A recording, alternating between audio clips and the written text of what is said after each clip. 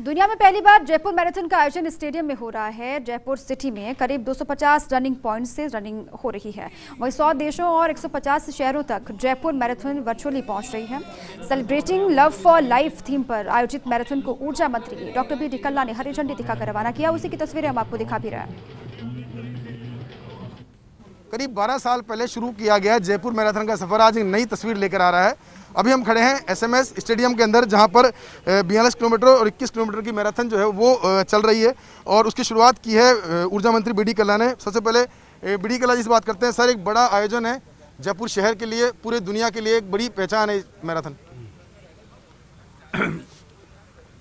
युवा संस्कृति संस्कृति युवा संस्था द्वारा आयोजित मैराथन प्रतियोगिता पिछले कई वर्षों से चल रही है और इसमें आप देख रहे हैं धीरे धीरे ये केवल जयपुर की नहीं, पूरे विश्व की मैराथन हो रही है। जैसा अभी मिश्रा जी ने बताया कि नेपाल में, बांग्लादेश में, यूरोप में, लंदन में सब जगह लोग अपने अपने समय पर भी चार घंटे बाद वहाँ पर लोग दौड़ेंगे।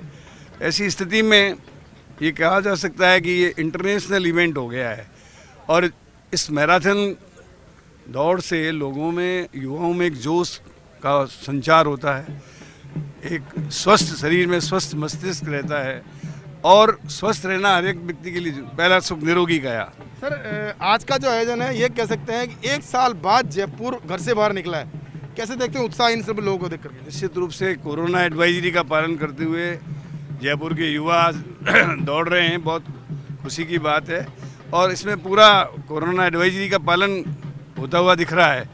और मैं समझता हूँ कि इससे युवाओं में पुनः खेल के प्रति, दौड़ के प्रति और अपने स्वास्थ्य के प्रति जागरूकता आएगी और ये कुल मिलाकर के वसुधैव कुटुम्बम को प्रोत्साहित करेगा। हमारे यहाँ कुछ लोग जो हैं वसुदेव कुटुम्बम को कहते तो हैं, लेकिन उस पर अमल नहीं करते। अयम निज परोवेती गणनाम साम उदार चरिता नाम वसुदेव कुटुम्बकम ऋग्वेद की एक ऋचा है कि ये तेरा और मेरा भारत की संस्कृति नहीं है, हमारी संस्कृति विशाल चरित्र वाली है, जिसमें पूरा संसार एक कुटुंब और परिवार की तरह है। तो संस्कृति युवा संस्था ने वसुदेव कुटुंबम को एक तरह से चरितार्थ किया है। आज पूरे विश्व के लोग अलग अलग जगहों पे दौड़ेंगे और इस मैराथन को प्रोत्साहित करेंगे, प्रेरणा देंगे। सुरेश मिश्रा जी मौजूद है। सर, इवेंट के बारे में बताएँ कि कितना सक्सेसफुल मानते हैं इवेंट? सुबह चार बजे शुरू हो चुका था इवेंट। देखिए, सुबह चार बजे फुल मैराथन प्रारंभ हुई और इसमें बयालीस किलोमीटर लोग दौड़ लगा रहे हैं। ये एसएमएस स्टेडियम का ट्रैक है, जहाँ पे 400 मीटर का राउंड है, जिसमें 105 लूप एक बार आदमी काटने पड़ेंगे। इसी प्रकार से जयपुर में ढाई पॉइंट हमने तय किए हैं जब 50 से 100 की संख्या में लोग दौड़ रहे हैं। इसके अलावा 26 राज्यों के लोग दौड़ रहे हैं, सौ से अधिक दोस्त इसमें सम्मिलित हो रहे हैं। तो ये अपने आप में एक अद्भुत प्रयोग है और इसको हमने वर्चुअल तरीके से आयोजित किया है, जिसमें कि फ़िज़िकल लोग ट्रेडमिल पर दौड़ रहे हैं, कोई पार्क में दौड़ रहा है, कोई अपने मोहल्ले में दौड़ रहा है, लेकिन दौड़ रहा है। और हम सबसे कहना चाहते हैं कि अपने आप से प्यार करें और अपने आप से प्यार करेंगे तो हम फिट रहेंगे। अनूप रेतिया जी हैं उनसे बात करते हैं। सर एक बहुत ही अहम दिन है। प्यार करने वाले लोगों के लिए भी अहम दिन है। आज वैलेंटाइन डे है और उस दिन एक बड़ा आयोजन है। किस तरह से देखते हैं इस आयोजन को और साथ में क्या मैसेज देना चाहेंगे जयपुर हेड्स को?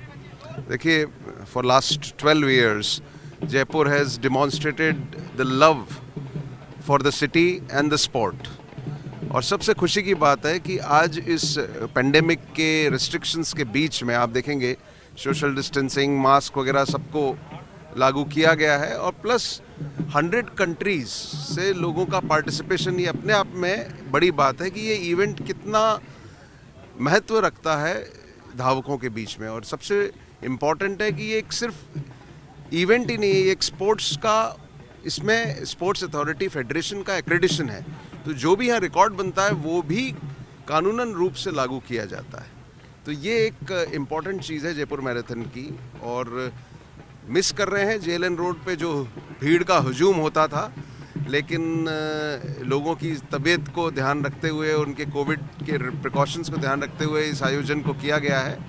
And world trade park and संस्कृति पिछले 12 साल से इस चीज़ को जब हमने इनिशिएट किया तो बहुत सफलता मिली है। मैं आशा करता हूँ कि इस बार ये जज्बा कायम रहेगा और अगले साल हम फिर जे रोड पे होंगे। देखिए, ये मैराथन के आयोजक थे जिन्होंने बताया कि पूरा उत्साह के साथ में कोविड की पालना करते हुए ये आयोजन किया जा रहा है और उम्मीद यही है कि इस बार जिस तरह से कोविड की पालना करते हुए स्टेडियम में मैराथन की जा रही है, अगली बार एक बार फिर से जेलन मार्ग वापस दोबारा से इसी मैराथन का परिचायक बनेगा। कैमरा पर्सन संजय के साथ Vikas Sharma, first India news, Jaipur.